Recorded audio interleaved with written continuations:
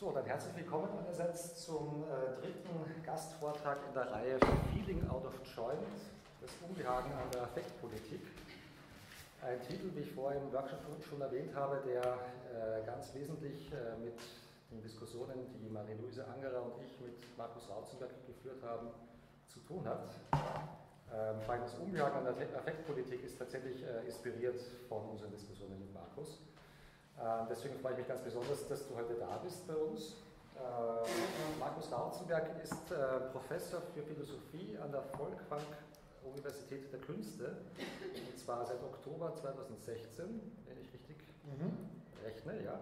Äh, und ist auch Mitglied unseres DFG-Netzwerkes Affect and Psychotechnology Studies. Das war sozusagen der Rahmen, der Rahmen für unsere Diskussionen über Affektpolitik und Affekttechnologien ähm, ist also intrinsisch verbunden mit auch der Konzeption dieser Reihe hier. Seine Forschungsschwerpunkte sind Medientheorie, Bildtheorie, philosophische Ästhetik und Game Studies.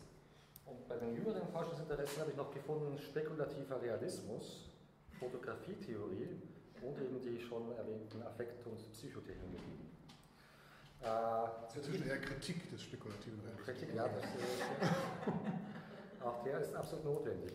Äh, zu den wichtigsten Veröffentlichungen zählen seine äh, Doktorarbeit unter dem Titel Die Gegenwendigkeit der Störung, Aspekte einer postmetaphysischen Präsenztheorie, erschien bei Diaphanes 2009 äh, und unter den zahlreichen Herausgaben möchte ich nur nennen Ungründe, die Titel sind immer auch sehr interessant, Ungründe, Potenziale prekärer Fundierung, gemeinsam mit Juliane Schiffers 2016 und The Beauty of Theory, zur Ästhetik und Affektökonomie von Theorien mit Joachim Küpper, Miriam Schaub und Regine Strägling 2013.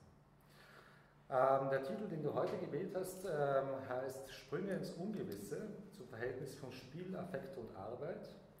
Ähm, und diejenigen, die im Workshop schon waren, werden vielleicht einige Motive wieder wiedererkennen oder auch nicht. Ich bin auch selbst äh, sehr neugierig, was du uns erzählen wirst, aber es hat einen gewissen Science-Fiction-Anteil möglicherweise auch, ja. weil es auch darum gehen wird, was Affektpolitik äh, einmal gewesen sein wird. Also wir haben diese viel schönere Titel.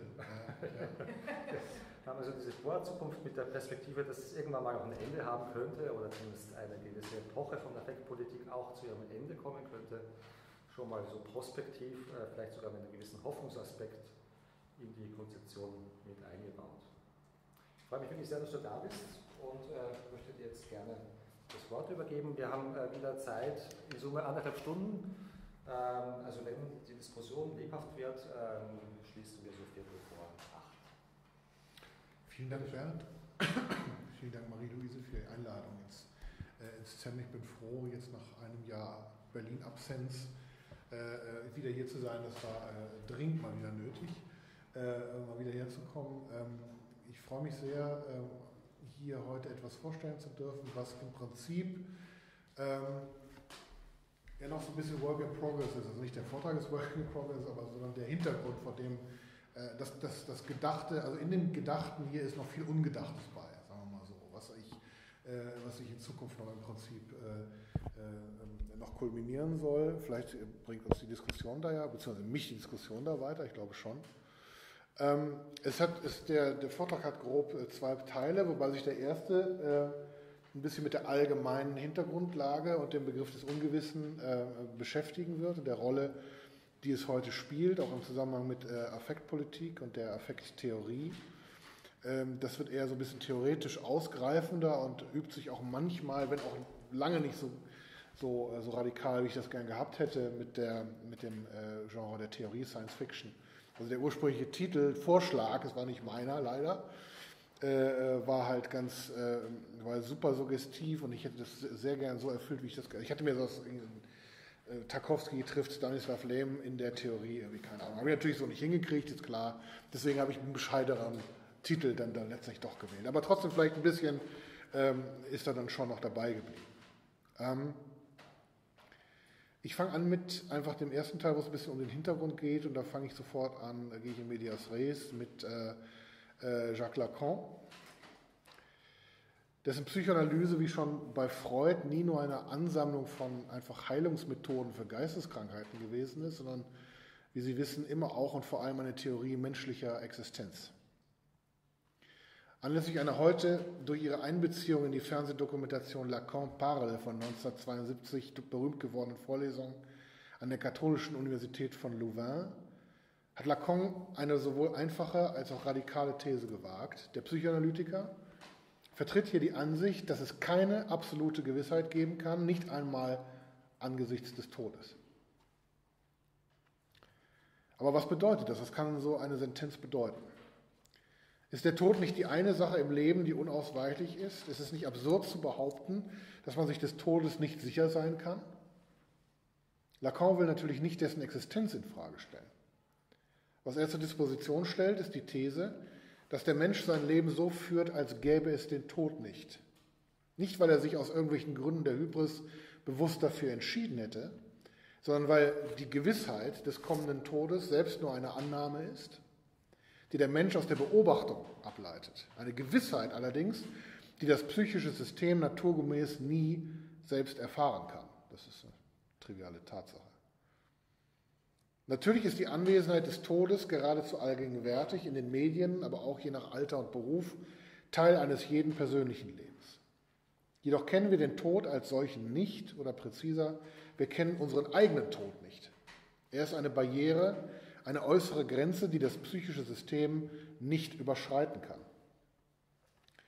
Natürlich weiß ein jeder ab einem gewissen Alter von der Unausweichlichkeit des Todes, aber dieses Wissen ist nicht von derselben Art, wie gewusst wird, zum Beispiel, wie es ist, hungrig oder durstig zu sein.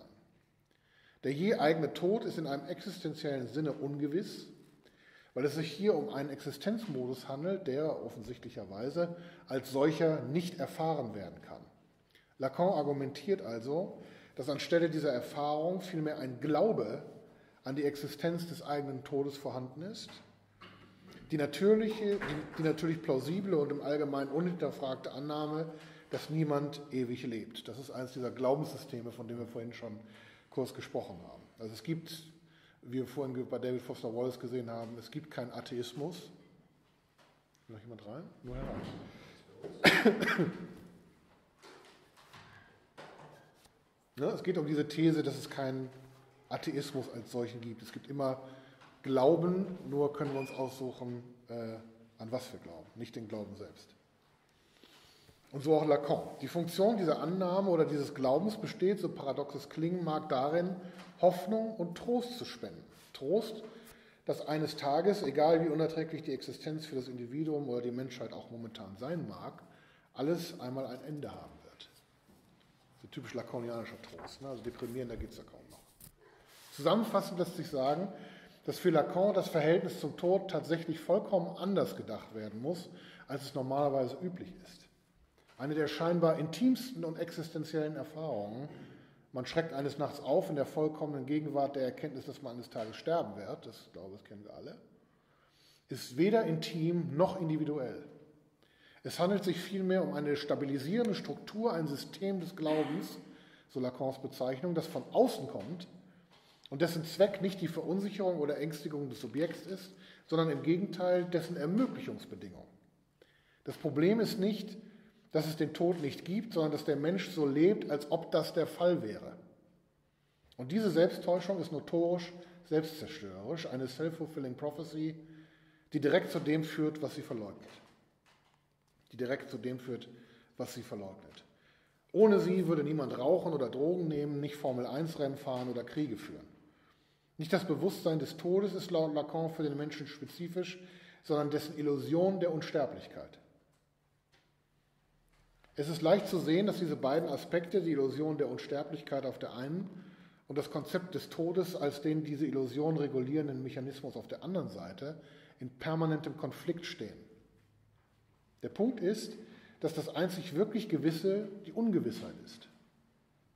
Hier trifft sich das übrigens mit einer einem Theorem von äh, Quentin Meyer-Sue, das ein ganzes Buch äh, darum geht, äh, das alles, alles Ungewisse zu tilgen, bis auf die Ungewissheit selbst.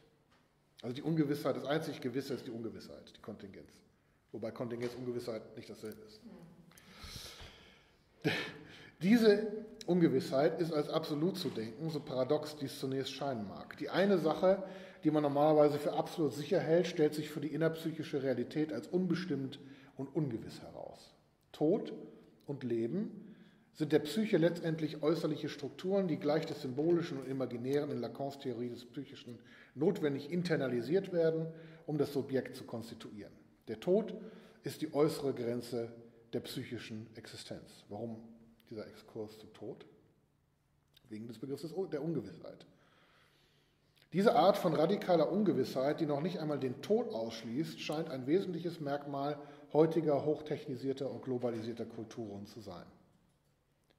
Unter anderem Poststrukturalismus und Konstruktivismus waren theoretische Richtungen, welche diese Ungewissheit als unhintergehbare Conditio sine qua non angenommen und bis an ihre philosophischen Konsequenz geführt haben, wo Gegenmaßnahmen letztendlich unvermeidlich wurden. Gegenmaßnahmen, die aus den Reihen dieser Denkrichtung selbst erwuchsen. Der apokalyptische Kulturpessimismus eines Jean Baudrillard oder Paul Virillo zum Beispiel, der davon ausgeht, dass wir in einer Kultur der Simulation leben, in der alles Reale sich in den Weiten digitaler Medien verflüchtigt habe, ist eine logische, wenn auch konservative Antwort auf eine Welt der Ungewissheit. Die Modifikation innerhalb dieser theoretischen Ausrichtung gegenüber dem Poststrukturalismus, dem sie entstammt, ist subtil, aber entscheidend. Sie akzeptiert den Status quo absoluter Ungewissheit als gegeben, aber unterminieren den eigentlichen Radikalismus dieses Befundes bei Lacan mit der Implikation, dass die Welt des Realen, des Sinns und der bedeutsamen Repräsentation verloren ist. Aber etwas verloren zu haben, ist immer noch besser, als es nie besessen zu haben. Verlorenes kann wiedergefunden werden. Daher ist es nicht schwer zu begreifen, warum diese die radikale Ungewissheit letztlich verneinenden theoretischen Gegenmaßnahmen entstehen mussten. Denn wie soll man unter dem kalten Himmel absoluter Ungewissheit leben? Es ist dieser Kontext, der mit der Säkularisierung und transzendentalen Obdachlosigkeit des 20. Jahrhunderts begann und zurzeit im Postulat absoluter Ungewissheit kulminiert in dem neue Essentialismen wieder Konjunktur haben. Und um dies zu belegen, muss nicht einmal auf das offensichtliche fundamentalistische Auswüchse in Religion und Politik zurückgegriffen werden.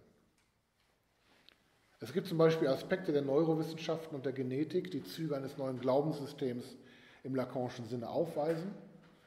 Nicht etwa, weil es sich hier etwa um Illusion handele, das ist natürlich genau Lacans Pointe. Ne? Glaubenssysteme sind als solche so real und machtvoll wie andere Systeme auch sondern weil es sich um Bewältigungsmechanismen handelt, die vor den Zumutungen radikaler Ungewissheit schützen sollen.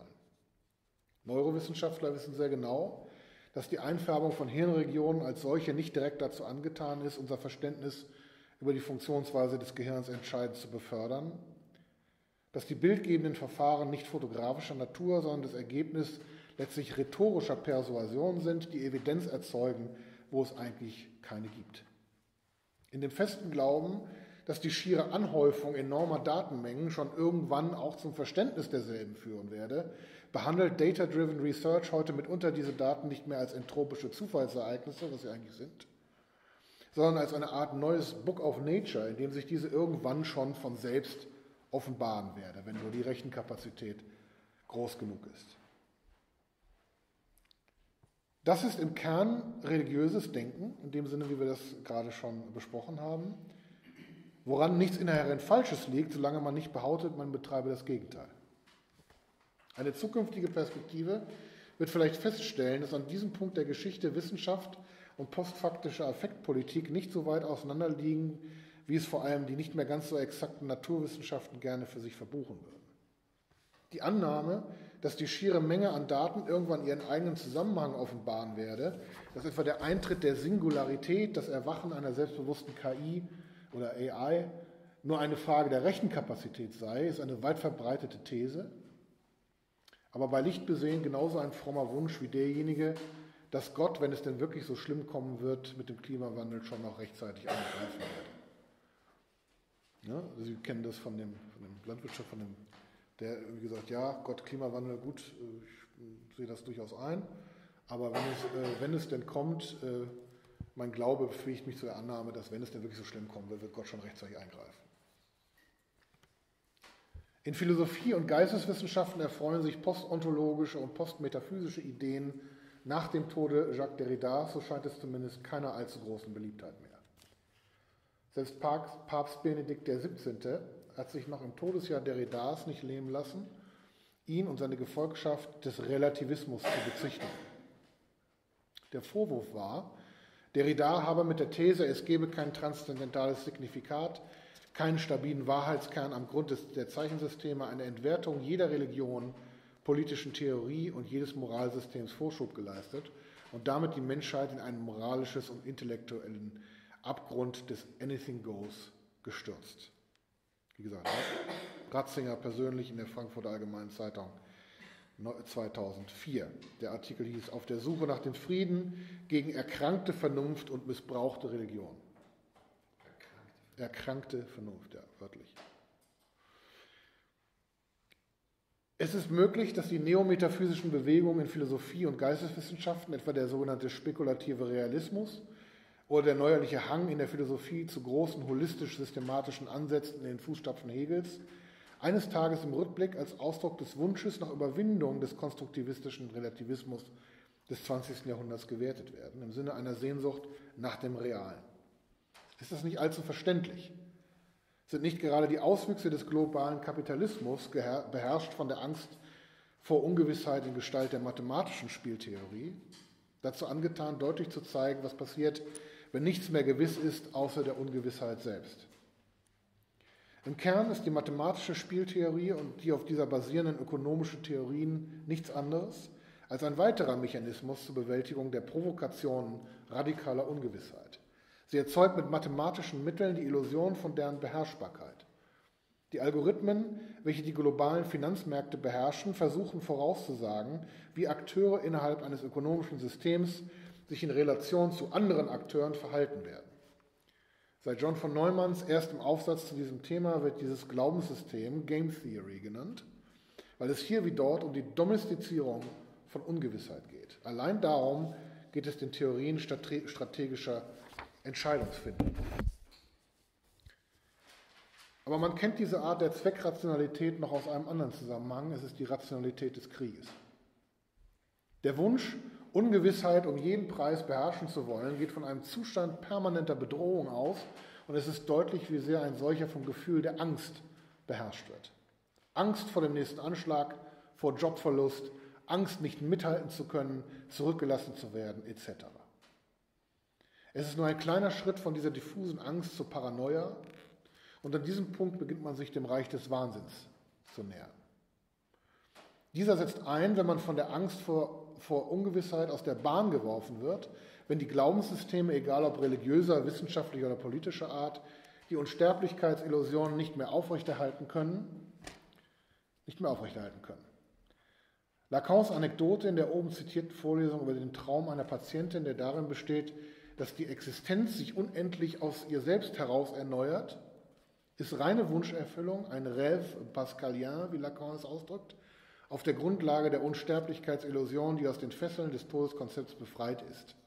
Was auf den ersten Blick wie ein unschuldiger Traum wirken mag, erweist sich als Albtraum, der die Träumerin, Lacan zufolge, halb wahnsinnig zurückließ. Halb wahnsinnig wird dann in Zukunft wahrscheinlich auch jene diffuse Gemengelage genannt werden, die wir heute Affektpolitik nennen. Diese besteht aus kurzen Wegen oder besser gesagt das epistemische Paradigma der Affektpolitik ist der Kurzschluss. Medial heißt das, und hier leihe ich mir ein treffendes Wort Peter Bextes, Reflex statt Reflexion. Twitter, Wein, Like or Dislike, Love or Hate, eine Welt der Extreme, deren Affektmodus die Panik ist oder die Hysterie. Ich habe vor ein paar Tagen auf einer Tagung in Essen gelernt, dass man den Typus, der sich in so einer Welt wohlfühlt, am treffendsten als Krassisten bezeichnen kann. Von krass. Die Empfindung der Krassheit ist ein plötzlicher, schockartiger Zustand der Überraschung, der wegen seiner Kürze niemals in Erfahrung und damit Reflexion übergeht, sondern immer im Modus des Erlebens im Hier und Jetzt verbleibt. Ein Tweet ist 140 Zeichen lang, ein Wine-Video maximal 6 Sekunden und inzwischen hat sich der Konsum von Streamingdiensten wie Netflix oder Amazon Prime dahin entwickelt, dass die dortigen Medienangebote mittels Plugins in doppelter Geschwindigkeit konsumiert werden können, damit man die vielen Qualitätsserien auch alle möglichst sich gleichzeitig reinziehen kann. Damit kann man dann eine ganze Serie in der Hälfte der Zeit binge-watchen, die man herkömmlicherweise benötigen würde. Man könnte das als vorläufigen Endpunkt jener Entwicklung des modernen Zeitempfindens beschreiben, den Karl-Heinz Bohrer als Plötzlichkeit beschrieben hat. Man kann es aber auch lassen. Denn nicht eine kristalline Erkenntnis bricht sich hier Bahn, sondern ein Kurzschluss, der Medium und Soma direkt miteinander verdrahtet.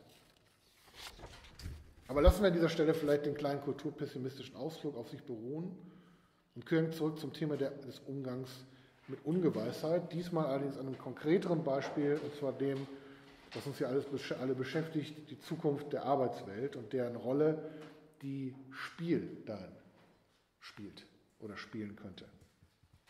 Der Zusammenhang wird gleich, glaube ich, hoffentlich klarer werden. Denn was die Arbeit betrifft, eines der nach wie vor weitgehend unhinterfragbaren Axiome der postindustriellen Zivilgesellschaft, ist ihre Bewertung der Erwerbsarbeit im Sinne einer unhintergehbaren Bedingung der Möglichkeit für erfülltes Leben und funktionierende Gesellschaft. Trotz der Tatsache, dass wir große Teile der Arbeitswelt inzwischen aufwendig künstlich erhalten müssen, obwohl sie gemäß technischen, des technisch Machbaren längst überflüssig sind, hat ein Umdenken bezüglich der Rolle der Arbeit für den Einzelnen und für die Gesellschaft noch nicht ernsthaft stattgefunden. Bekanntlich liegt hier auch ein zentrales, zumindest psychologisches Hindernis für das Modell des bedingungslosen Grundeinkommens. Der schiere Horror vacui angesichts der Vision einer, einer Gesellschaft, in der herkömmliche Erwerbsarbeit nicht mehr die zentrale Rolle spielt wie noch im 19. und 20. Jahrhundert, lässt keinen Platz für Überlegungen darüber, was nach der Arbeit kommen könnte. Denn die Arbeit ist Sinnstifterin. Sie scheint heute die letzte Zuflucht des transzendentalen und auch anderweitig obdachlosen Subjekts, das den Taktungen einer entfesselten Marktwirtschaft folgend alles einstmals Sinnstiftende aufgegeben hat und nun nur noch Erfüllungsgehilfe der eigenen Selbsterhaltung geworden ist. Tragischerweise trifft die Diagnose selbst dann noch zu, wie Sie wissen, wenn es sich bei der Arbeit nicht um die allseits begehrte, anspruchsvolle, prestigeträchtige, auskömmliche und damit erfüllende Art der Arbeit handelt. Nur allzu oft ist gerade bei schlecht verdienenden Arbeitnehmerinnen und Arbeitnehmern zu hören, dass sie eher noch einen dritten schlecht bezahlten Job annehmen würden, als Stütze zu beziehen.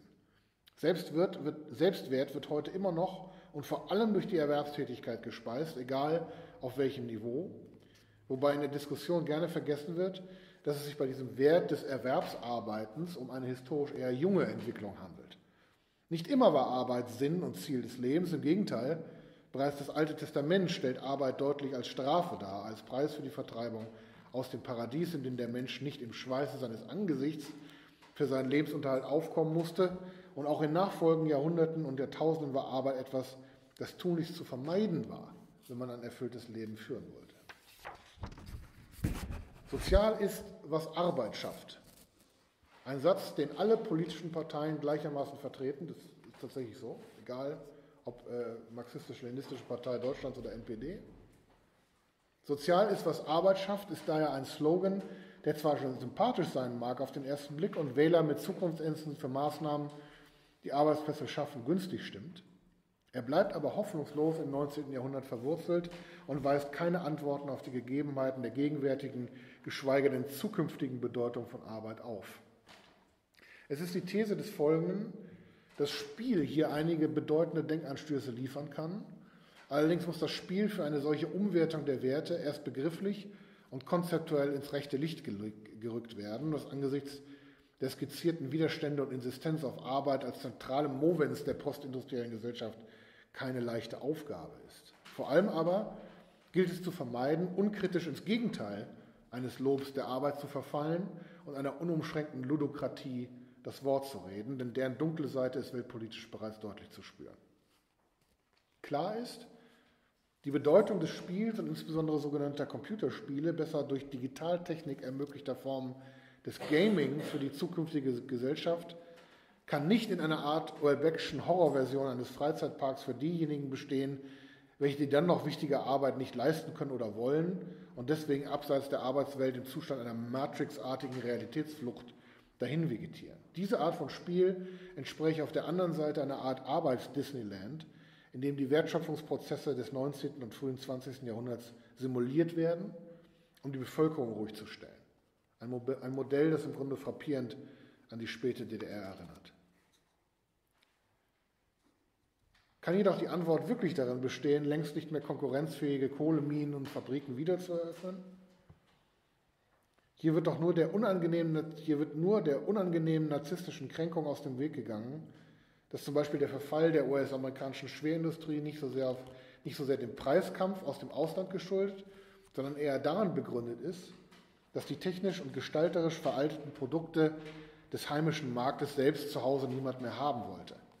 Wenn General Motors unbeirrt unansehnliche und unökonomische Stahlkolosse baut, als befände man sich immer noch in den 70er Jahren des letzten Jahrhunderts, werden auch Strafzölle diese Nachfrage nicht beheben können, schon gar nicht auf dem Weltmarkt. Eine museale Konservierung historisch vergangener oder auch überwundener Arbeitsformen dürfte daher kaum nachhaltige Antworten bieten. Die epochemacher Bedeutung, die epochemachende Bedeutung des Spiels ist demgegenüber auch keine kompensatorische.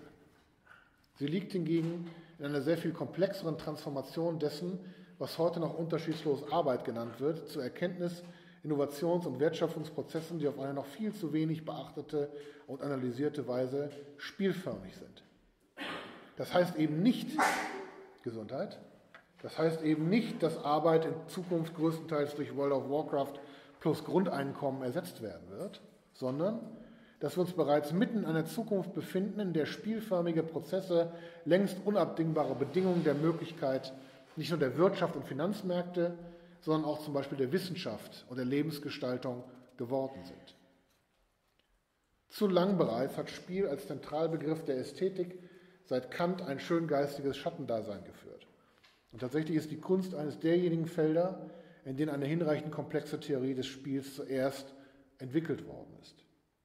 Das liegt vor allem daran, dass Ungewissheit ein zentrales Ingredienz des Spiels in der Kunst des ausgehenden 19. und 20. Jahrhunderts eine so große Rolle gespielt hat. Vor allem die historischen Avantgarden haben Unbestimmtheit und Ungewissheit, etwa in Gestalt forcierter Polysemie, Aleatorik, Multiperspektivität und ontologischer sowie epistemischer Verunsicherung, in eine Weise in den Mittelpunkt ihres Tuns gestellt, dass an dieser Stelle bereits im Sinne einer Schule der Wahrnehmung welche das Denken und die Wahrnehmung äh, für die aufgeforderten Murti des Ungefähren, Wagen und Unbestimmten sozusagen trainiert, von einer Einübung, von einem Sprung ins Ungewisse gesprochen werden kann. Und genau hier hat das Spiel seinen angestammten Platz. Es ist dabei nun wichtig zu betonen, dass Spiel trotz seiner grammatischen Form begrifflich nicht im Sinne eines Substantivs oder einer Substanz, sondern als relationale Modalität gefasst werden muss. Spiel ist kein vorkommendes Ding, sondern ein Seinsmodus, ein Geschehen. Zwar werden einzelne Verkörperungen des Spiels auch stetig, stets Spiele genannt, Fußball, Schach oder World of Warcraft, jedoch ist das Spiel als solches keine Entität, sondern eine Dynamik, in deren Zentrum die Aushandlung von Ungewissheit steht. Es gibt kein Spiel, dessen Ausgang nicht ungewiss ist. Dies gibt einen wichtigen Hinweis zur Bestimmung des Spiels, welches in der Geschichte seiner Theoretisierung von Kant bis Heusinger auch immer wieder ex negativo vermittelt seines Gegenteils konturiert wurde. Dabei ist allerdings stets bemerkt worden, dass sich das Spiel vorschnellen Dichotomisierungen entzieht. So ist etwa der Gegensatz zwischen Spiel und Ernst, der doch zumindest dem Alltagsverständnis des Phänomens noch recht nahe steht, bereits bei Schiller, aber insbesondere bei Heusinger nicht zu halten gewesen. Im Gegenteil, im sogenannten heiligen Ernst, wie Heusinger das nennt, ist geradezu ein weiteres Definitionsmerkmal des Spiels gefunden worden. Heusinger, der das Spiel kulturgeschichtlich vor allem aus religiösen Praktiken und Vorstellungen herleitet, hat sich in seinem Buch Homo Ludens vor allem deswegen so lange auf die Widerlegung des Gegensatzes von Spiel und Ernst konzentriert, weil im Spiel als sinnstiftendes Moment erschien, das sich zwar menschheitsgeschichtlich im Bandkreis des Kultes und der Religion zuerst zeigte, aber der transzendenten Dimension nicht bedarf oder besser diese offen lässt. Heusingers Pointe liegt darin, in einer Welt ohne Gott die Kultur, den Ritus und heilige Handlungen durch das Spiel auf eine Weise erklären zu können, die ihnen ihren Zauber belässt, ohne diese auf Zweckrationalität und Betrug zurückzuführen, wie es etwa Marx tut. Gleichzeitig muss in einer gottesfernen Welt, Homo Ludens erschien am Vorabend des Zweiten Weltkriegs, der transzendente Bezug religiöser Handlungen nicht wieder eingeführt werden. Die Entdeckung Heusingers ist nicht etwa, dass Spiel eine Art Vorform von Kultur oder ein besonderes Element von Kultur ist, sondern dass Kultur als solche spielförmig ist. Spiel erzeugt keinen Sinn, Spiel ist Sinn, beziehungsweise Spiel ist sinnförmig, ebenso wie Sinn spielförmig.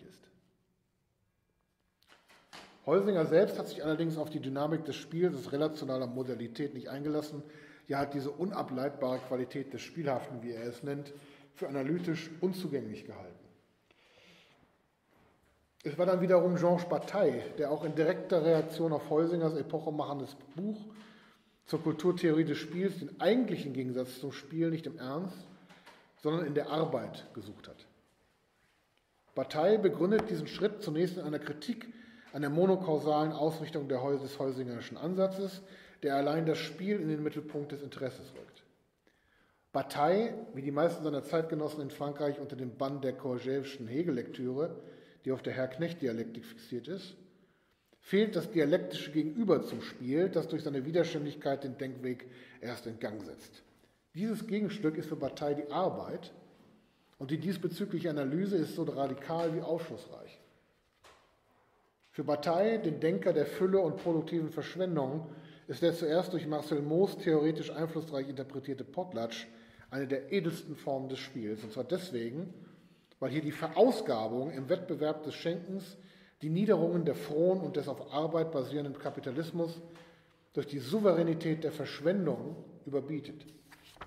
Ein Wettkampf der Verschwendung ringt das agonale Prinzip, das sich noch in der Form des Wettkampfs verbirgt, nieder, indem es Konkurrenz, zumindest in seinem kleinsinnigen merkantilen Sinne, durch Fülle überwältigt und damit auslöscht. Ist für Schiller noch der Mensch nur ganz Mensch, wo er spielt, ist der Mensch für Bataille erst dort auf der Höhe des Spiels, wo er sich selbst aufs Spiel setzt. Die Autonomie des Spiels, welche den Menschen nicht braucht, sondern sich auch nur auf bestimmte Weisen in seinen Handlungen ausdrückt, tilgt den Anthropozentrismus, den das Spiel noch bei Kant, Schiller und Heusinger hatte, und rückt es damit noch ein Stück näher an die Kunst. Auf dieser Prämisse basiert dann auch bekanntlich Gadamas ludische Ästhetik in Wahrheit und Methode. Zitat: Das Subjekt des Spiels sind nicht die Spieler, sondern das Spiel kommt durch die Spielenden lediglich zur Darstellung. Zitat Ende. Gadamer, Wahrheit und Methode. Spiel als solches ist auch bei Gadamer nicht mehr anthropozentrisch, ja eigentlich nicht mal mehr als Kulturphänomen, sondern als eine Art von Naturgewalt gedacht. In einer Art dämonischen Überbietung der Analyse von Max Weber und ganz im Fahrwasser Nietzsches ist für Bataille Arbeit nichts weiter als Produkt der Angst vor dem Ungewissen. Der Mensch, der sich vor den Unbilden der Natur, Tod und Krankheit schützen will, tauscht seine Arbeitskraft und damit seine Freiheit gegen die Illusion von Sicherheit, die ihm Kapital und Staat als Gegenleistung feilbieten. Bereits bei Max Weber war die Ungewissheit des Gnadenstandes Motor des kapitalistischen Geistes. Für den Calvinisten im Sinne Webers ist die Vereinsamung des Individuums charakteristisch, für das Gott in weite Ferne gerückt ist.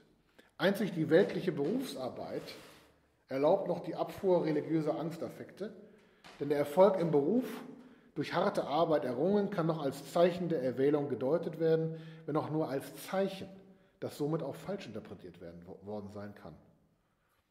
Gewissheit über den eigenen Gnadenstand ist unerreichbar. In diesem Sinne ersetzt Arbeit die magischen Heilmittel des Katholizismus, Beichte etc., um den Preis der gnadenlosen Selbstunterwerfung unter das Joch einer ungewissen Gnadenwahl.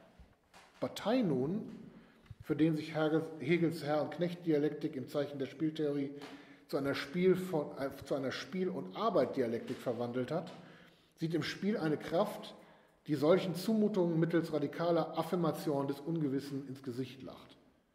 Zitat: Der Herr ist nach Hegel derjenige, der das Risiko des Todes auf sich nimmt, der Knecht derjenige, der um jeden Preis überleben will, indem er unter Zwang für einen anderen arbeitet. Aus dem Gegensatz zwischen der Haltung des Spiels oder des Todesrisikos und der Haltung der Angst vor dem Tode oder der erzwungenen Arbeit gewinnt Hegel das dialektische Konzept des Menschen. Zitat Ende. Das ist das äh, Beschreibung Batailles. Für Bataille manifestiert sich im Spiel vor allem eine Haltung, auch sie natürlich eine Weise des In der Weltseins. Diese Haltung allerdings fußt abermals auf jenem Grundingredienz, das schon mehrfach begegnet ist, der Ungewissheit. Abermals haben wir in der todesverachtenden Bejahung, in den existenziellen Spielen auf Leben und Tod eine Einübung ins Ungewisse vor uns, welche sich immer mehr als entscheidendes Merkmal des Spiels entpuppt. Allerdings stehen sich Spiel und Arbeit in einer radikalen Theorie wie der Bataille nur sehr unversöhnlich gegenüber. Batailles Hegel ist nicht einer der dialektischen Aufhebungen, sondern der agonalen Konfrontation, welche als solche arretiert ist. Wie eine Synthese auswählen könnte, davon ist hier nichts zu erfahren. Der Fetisch des Streits und des Kampfes ist hier noch zu stark im Vordergrund. Auch Heidegger setzt hier an. Widerspruch und Widerstreit sind für ihn nicht etwas aus der Realität zu tilgendes, sondern Wirklichkeit selbst. Zitat. Der Widerspruch ist vielmehr das innere Leben der Wirklichkeit des Wirklichen. Diese Deutung von Wesen und Wirken des Widerspruchs ist das Kernstück der Metaphysik Hegels. Zitat Ende. Medium dieses Widerstreits nun ist auch bei ihm das Spiel, wobei die bedeutende Rolle des Spielbegriffs bei Heidegger nicht leicht zu sehen ist und unfänglicher Querverweise bedarf. Da gibt es der aber sehr schöne äh, Monographien, etwa von Ingeborg ähm, Heidemann oder Annette Sell zu dem Spielbegriff bei Heidegger, wenn das interessiert. Zusammenfassend lässt sich aber sagen, dass insbesondere in Heideggers Schrift der Satz vom Grund Wesentliches zu diesem Thema anzutreffen ist. Ohne ins Detail zu gehen, sei angedeutet, dass Heidegger hier in Gestalt der Frage nach Grund und Begründung das Spiel als jedes Element des Widerstreits konturiert, das es ermöglicht, den Satz im Sinne des Sprungens in ein konstitutiv grundloses oder besser ungründiges zu tun. Spiel wird hier nicht, durch Existen nicht, wird hier nicht nur existenzialistisch aufgeladen. Entscheidend ist, dass die begrifflichen Gegenspieler des Spiels, sozusagen seine dialektischen Counterparts, bei Heidegger nicht mehr Ernst oder Arbeit, sondern gemäß der Bedeutung, die im Spiel der Sprung ins Ungewisse hat, Ursache, Zweck und Kausalität sind. Der Satz vom Grund ist ein Sprung ins Ungewisse, eine Geworfenheit auch und gerade im Sinne des Würfelwurfs. Dasein ist immer schon eingelassen in eine Welt, grundlos durch sich selbst da. Hiermit ist schließlich ein Blick auf jenes freie Spiel gewonnen, das Kant angesichts des Geschmacksurteils als freies Spiel der Erkenntniskräfte bezeichnet. Dies ist nicht nur für das Geschmacksurteil relevant, sondern hat sich in Form spielförmiger Erkenntnis- und Emergenzprozesse gemäß den Erkenntnissen der historischen Epistemologie zum Beispiel auch für die Wissenschaft als konstitutiv erwiesen. Hans-Jörg Reinbergers Theorie des Experimentalsystems etwa kann als Versuch gelesen werden, das Prinzip spielförmiger Erkenntnisprozesse als Konstitutivum naturwissenschaftlicher Forschung zu erweisen. Reinbergers Theorie des Experimentalsystems wendet sich gegen die Ansicht, Experimente wären schlicht Überprüfungsverfahren zuvor aufgestellter Hypothesen. Vielmehr müsse ein Experimentalsystem, und das ist, glaube ich, die schönste Formulierung im ganzen Buch, das nicht eben arm ist an schönen Formulierungen, vielmehr müsse ein Experimentalsystem so eingerichtet sein, dass es in die Lage versetzt, noch unbekannte Antworten auf Fragen geben zu können, die auch der Experimentator noch gar nicht zu stellen in der Lage ist. Ich lese nochmal vor. Vielmehr müsse ein Experimentalsystem so eingerichtet sein, dass es in die Lage versetzt, noch unbekannte Antworten auf Fragen geben zu können, die auch der Experimentator noch gar nicht zu stellen in der Lage ist. Bessere Definition äh, des Spiels als Medium äh, von Erkenntnis könnte man gar nicht geben.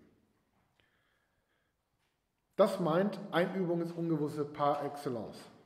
In einem mit Reinberger beschriebenen Forschungssetting wechseln Begründung und Ergebnis, Ursache und Wirkung ständig die Rollen. Der Forschungsgegenstand, auf den sich ein Experiment bezieht und das technisch-diskursive Setting, mit dem es beobachtet wird, stehen in einem reversiblen Begründungsverhältnis. Reinbergers berühmte Unterscheidung von epistemischem Ding und technischer Bedingung, also Forschungsgegenstand und Beobachtungssetting, ist daher rein rekursiv funktional und nicht entlang linearer Kausalität vorzustellen. Gängige technische Werkzeuge können im Forschungsgang in Zusammenhänge geraten, die über ihre ursprüngliche Zwecksetzung hinausgehen und somit unversehens zu epistemischen Dingen werden. Entscheidend ist, entscheidend ist der Vorgang des Geratens. Es ist planlos. Ja? Umgekehrt können epistemische Dinge zu technischen Bedingungen für die Beobachtung und Konstitution anderer Forschungsgegenstände dienen. Dies alles ist keine Relativierung naturwissenschaftlicher Forschung im Sinne eines konstruktivistischen Anything Goes, der ewig gleiche und ewig verfehlte Vorwurf an die Vernunftkritik des 20. Jahrhunderts. Im Gegenteil, vielmehr handelt es sich um die Begründung der experimentellen Forschung in der vollen Komplexität ihrer eigenen spielförmigen Dynamik. Auch hier wird die Aufhebung von linearen Kausalitätsketten zugunsten rekursiver, autopädischer Emergenzformen der Erkenntnis wirksam, deren ungründige Basis das Spiel darstellt. Dies ist jedoch nur die eine Seite des Spiels, dessen Autonomie einen weiteren Aspekt impliziert, der als solcher wenig auch nur zur Kenntnis genommen wird. Entgegen Schillers Annahme, dass das Spiel dem Menschen nur zu ethisch-ästhetischen Höhenflügen reichen könne, ist der Umstand ernst zu nehmen, dass Spiel gegenüber ethischen Fragen genauso interferent ist wie, wie gegenüber einem Konzept wie Wahrheit. Spiel kann etwa im freien Spiel der Marktkräfte, was man immer wieder liest, sehr schnell auch destruktiv anarchisches Potenzial entfalten. Spiel lässt sich eben nicht, wie es die mathematische Spieltheorie allenthalben suggeriert, effektiv probabilistisch domestizieren. Die Finanzkrisen der Vergangenheit haben den kontingenten, weil spielerisch induzierten Charakter globaler Marktentwicklung eindrucksvoll unter Beweis gestellt. Mathematische Spieltheorie, wie etwa das berühmte Equilibrium-Theorem von John Nash, den viele wahrscheinlich nur als Protagonisten von A Beautiful Mind kennen, beziehungsweise deren Fähigkeit zur Voraussage funktioniert nur, wenn die Grundprämisse des rationalen Verhaltens der beteiligten Aktanten eingehalten wird. Und genau diese Grundprämisse ist unter kontingenzgeprägten Realbedingungen natürlich nicht gegeben. Nichtsdestotrotz ist diese Art der Spieltheorie äh, immer noch dominierende Form der ökonomischen Theorie, etwa der Chicago School. Ebenfalls unübersehbar ist, und das hört man vielleicht manchmal nicht so gerne, dass die Kunst im oben skizzierten Sinne eine Einübung ins Ungewisse, also eine Eingeübung ins Ungewisse, heute nicht etwa nur subversiv und kritisch den Gewalten des globalen Kapitalismus gegenübersteht, sondern mit eben dieser Einübung ins Ungewisse den Erfordernissen des neoliberalen Kapitalismus ebenfalls geradezu spielt. Beide Ebenen, diejenige geldförmig und diejenige ästhetisch profitable Einsätze, haben ein Interesse an einem möglichst flexiblen, fluide agierenden Subjekt, stets fähig zur Anpassung an neue Gegebenheiten und risikobereit. Angesichts des Spiels lässt sich die vielleicht unangenehme Beobachtung machen, dass sich Kunst, zumindest seit den historischen Avantgarden, und neoliberaler Kapitalismus durchaus näher sind, als man es vielleicht gerne hätte, und das auf sehr grundsätzlicher Ebene. Beide gehören zum selben historischen Kontinuum. Mit Blick auf die Arbeit sind die Folgen klar. Während spielförmige Erkenntnisprozesse zunehmend unsere Arbeitswelt prägen und sich zum Beispiel in flexiblen Arbeitszeiten, flachen Hierarchien und Arbeitsumgebungen manifestieren, die dazu angetan sind, Kreativität und Experimentierfreude der Arbeitnehmer Entfaltungsmöglichkeiten zu geben, ist von hier der Schritt zur Gamification und Nudging nicht weit. Aber das Spiel lässt sich nicht betrügen. Anreizmechanismen zur Effizienzsteigerung mögen kurzfristige Erfolge erzielen, jedoch ist das Spiel im parteiischen Sinne aus solchen Manipulationsmaßnahmen längst entschwunden. Begeisterung und Leidenschaft gehen in der heutigen Arbeitswelt zunehmend Hand in Hand mit Selbstausbeutung und Wurzellosigkeit. Spiel selbst ist nicht einfach the next big thing, das es nur möglichst clever zu nutzen gilt, sondern ein ebenso fragiles wie machtvolles Medium, dessen destruktives wie poetisches Potenzial im griechischen Sinne von Poesis Erschaffung gleichermaßen gewaltig ist. Daraus mag sich die entscheidende Gratwanderung ergeben, die es zu meistern gilt. Heutige und mehr noch zukünftige Arbeitswelten werden vom Spiel ebenso angetrieben werden wie die Turbinen des 19. Jahrhunderts durch den Wasserdampf. Und es ist dabei wieder einmal allein an uns, ob das utopische Potenzial in Aktualität tritt oder eine gamifizierte Tyrannei der Ludokratie letztendlich überwiegen wird. Vielen Dank.